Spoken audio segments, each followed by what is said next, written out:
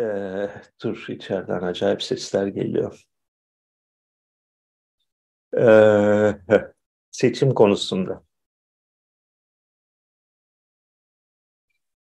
Cumhuriyet Halk Partisi'nin bu seçimi alma ihtimalini sıfır olarak gördüm birinci günden itibaren. 2018'den beri. Bırak 2018'i 2007'den beri. 1981'den beri. Ee, bunun gerekçelerini size tekrar tekrar açıkladım.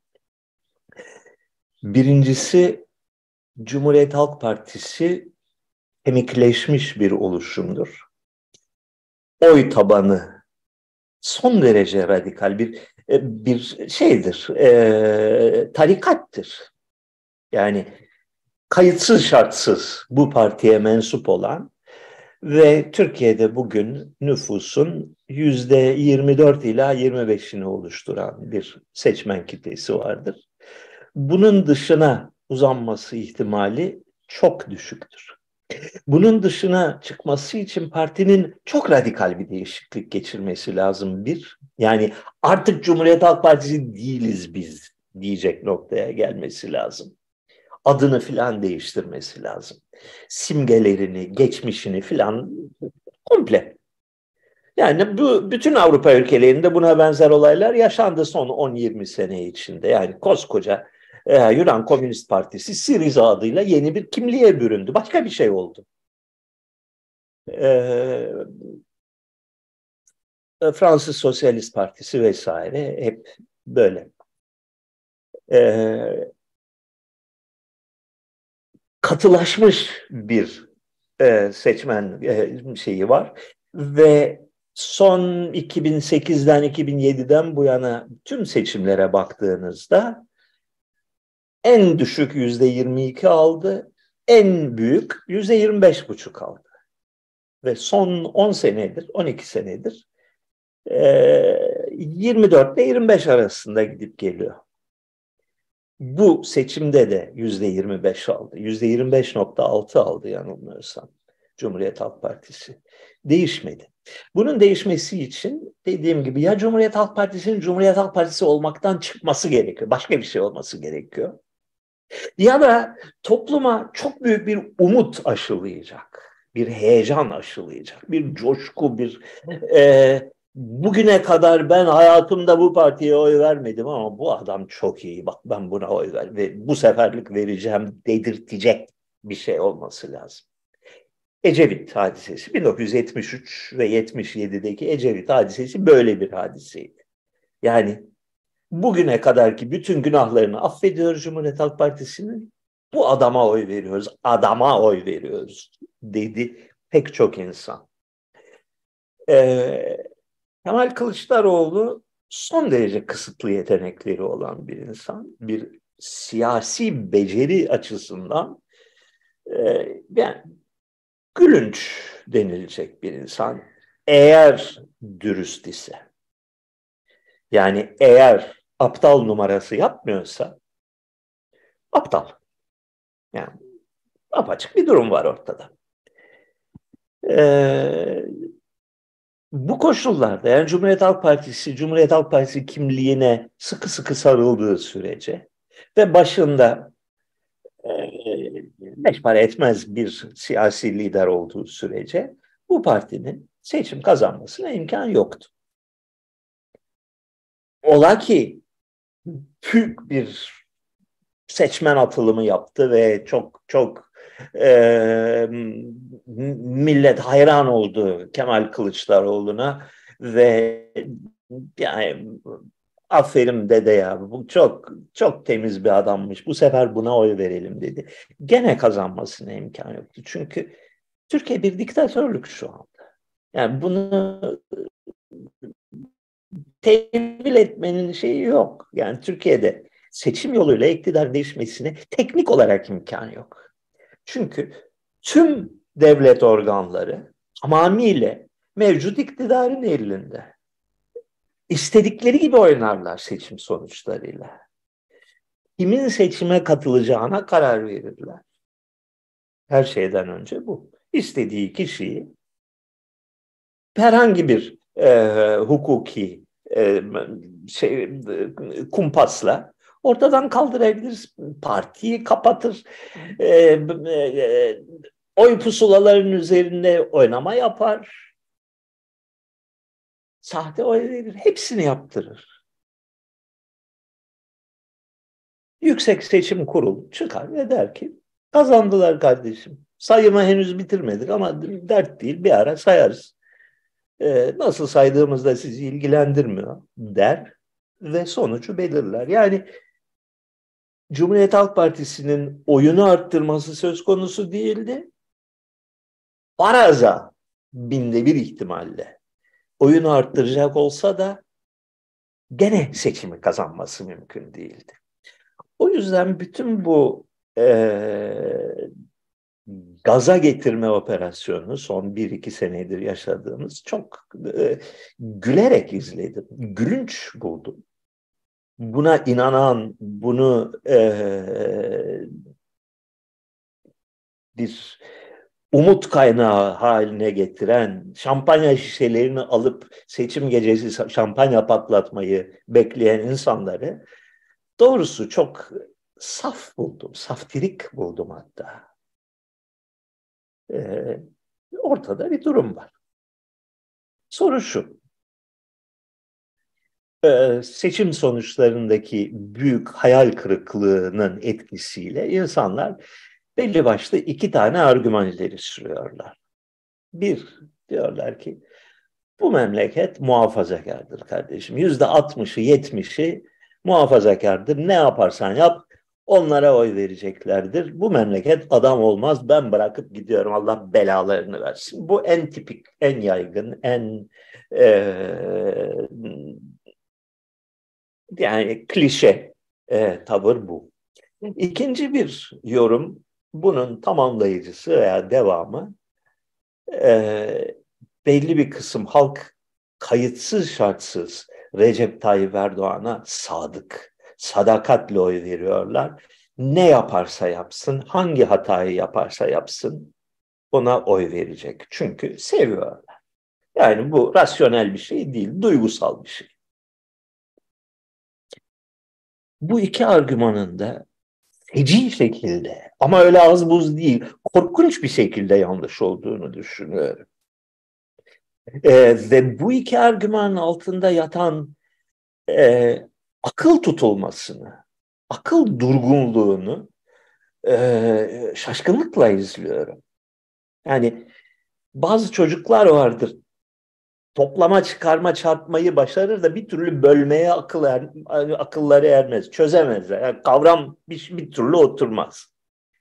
Seçmen davranışları konusunda da böyle bir akıl tutulması olduğunu zannediyorum.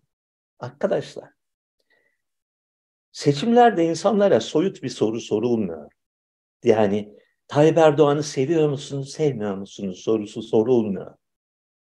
Tayyip Erdoğan mı, diğeri mi sorusu soruluyor. Ve insanlar ezici ço çoğunlukla pozitif değil negatif oy verirler. Kimi sevmiyorlarsa öbürüne oy verirler. Muhafazakar oldukları için değil, aptal oldukları için değil, sadık oldukları için değil, öbürünü beğenmedikleri için oy verirler.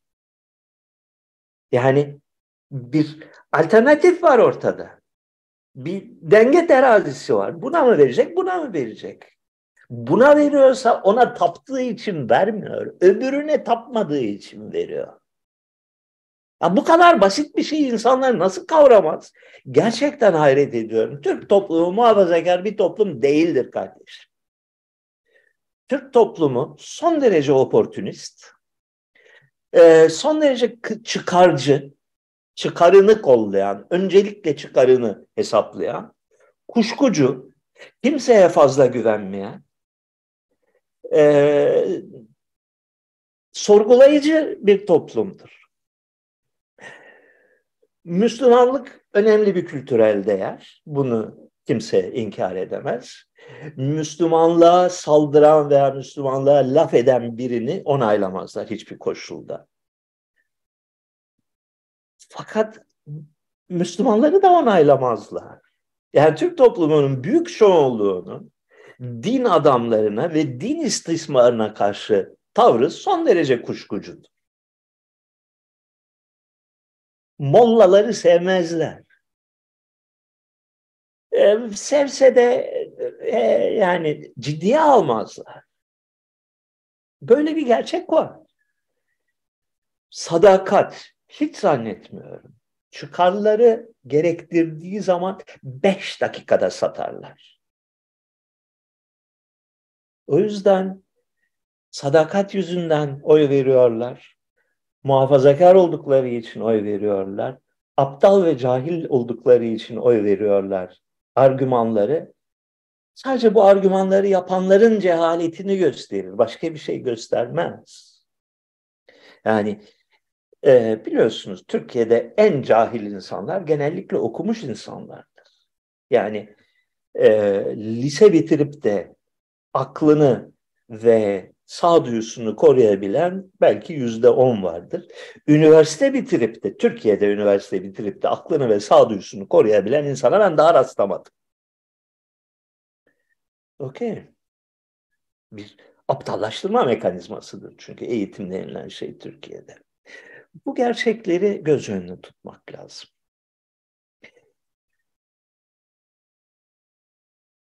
Çok basit bir neden var Türkiye'de. Sağ partilerin yüzde 60 ile 70 arasında oy almasının 1960'tan bu yana.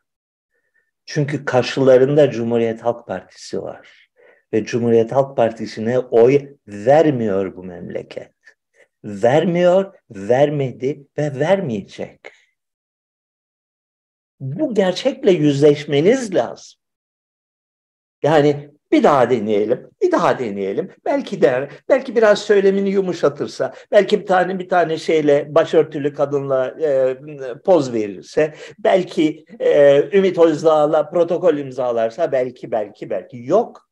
1961, 1965, 69, 73, 77 e, ara seçimler, 80'lerdeki seçimler, 90'lardaki seçimler, 2000'lerdeki seçimler, 2010'lardaki seçimler vermiyorlar Cumhuriyet Halk Partisi'ne.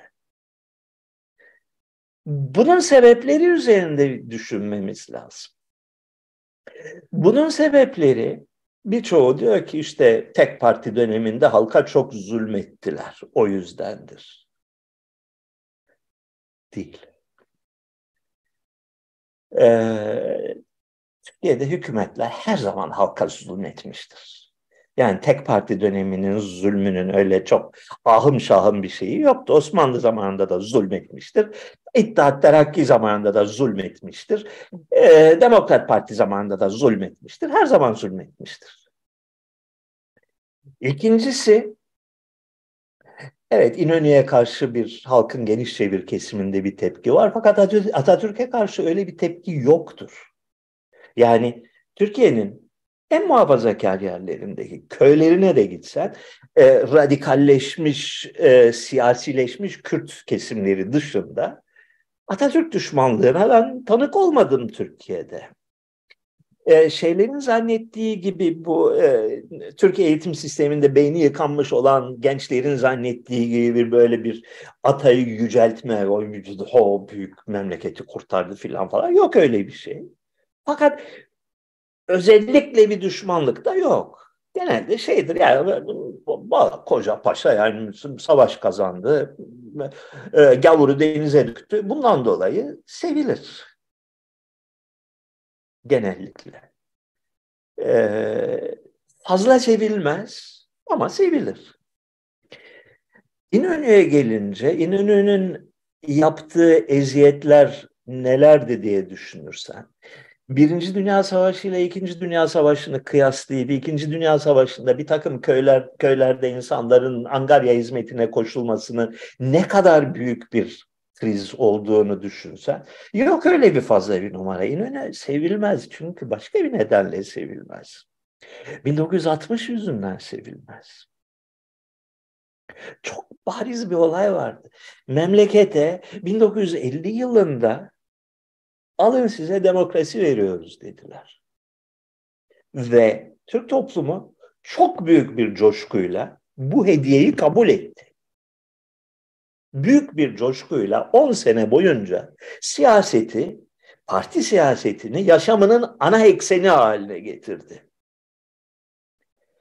Yani e, futbol maçı izler gibi e, siyaset izledi ve siyaset konuştu. Sonra dediler ki siz yanlış adam seçiyorsunuz vazgeçtik. Ve indirdiler ve adamı astılar halkın seçtiği adamı. Bu affedilebilir bir şey değildi. Bu büyük bir sahtekarlıktı. Büyük bir ihanetti. Bu ihanet affedilmemiştir. Yani Cumhuriyet Halk Partisi'nin 1960'dan bugüne yüzde 25'i aşan oy almamasının ve bundan sonra da almayacak olmasının temelindeki problem 1960 ihanetidir. O noktadan sonra bir daha kimse güvenmedi Cumhuriyet Halk Partisi'ne. Yani 1920'lerde 30'larda olan olaylar değil hadise. 1960 yılında olan olaydır. 1960 ve 60'ı izleyen 10 sene boyunca Cumhuriyet Halk Partisi'nin performansı bir siyasi intihar performansıdır. O tarihlerdeki Cumhuriyet Halk Partisi'nin yani 1973'e kadar e, Ecevit'in gelişine kadar Cumhuriyet Halk Partisi'nin e, temel yaklaşımı şuydu. Nasıl olsa memleket bizim.